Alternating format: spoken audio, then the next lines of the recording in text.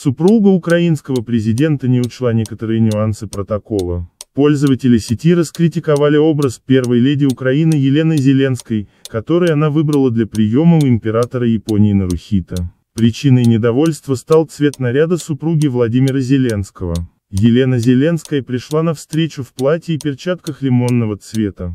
Пользователи соцсетей справедливо заметили, что представители иностранных делегаций обычно не надевают вещи желтого цвета на официальные приемы в Японии, поскольку это могут расценить как неуважение к монарху. Дело в том, что еще в 8 веке в стране была выработана система запрещенных цветов, и желтый в своих нарядах традиционно могли использовать только члены императорской семьи. Эти ограничения действуют до сих пор, хотя больше и не имеют юридического статуса. Украине теперь от Японии ничего не светит, пишут комментаторы под снимком Зеленской. Дизайнер и стилист первой леди явно диверсант, пытаются отшутиться другие пользователи. Руководитель группы экономики и политики Японии Института мировой экономики и международных отношений РАН Виталий Швыдко в разговоре с РБК заявил, что иностранцам в Японии многое прощается, поскольку они не посвящены во все детали протокола. Конечно, это вызывает определенные негативные чувства, но не является поводом для скандала или политических сложностей, сказал он.